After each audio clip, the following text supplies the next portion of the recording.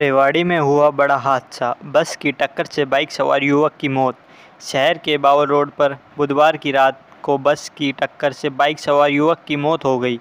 Model town थाना police ने गुरुवार को शव का पोस्टमार्टम कराकर परिजनों को सौंप दिया है और अज्ञात चालक पर केस दर्ज कर लिया है। पुलिस ने बताया कि गाँव कमालपुर निवासी ललित बुधवार की रात को करीब साढ़े नौ बजे दवा लेने के लिए गाँव बिठवाना जा रहा था। बावल रोड पर नहर के निकट पहुँचते पहुँचते से सामने आ रही बस के चालक ने उनकी बाइक को टक्कर मार दी। हादसे में ललित गंभीर रूप से घायल हो गए।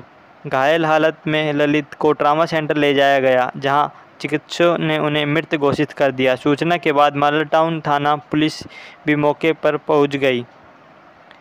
पुलिस ने कमालपुर निवासी राजेश कुमार की शिकायत पर बस चालक के खिलाफ प्राथमिक दर्ज कर जान शुरू कर दी।